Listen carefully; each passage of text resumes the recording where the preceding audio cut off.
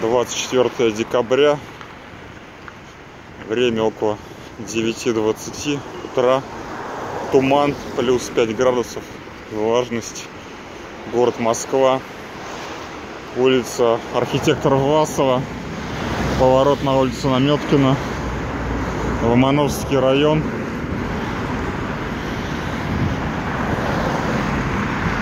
Следую к метро Калужская. Нас каток.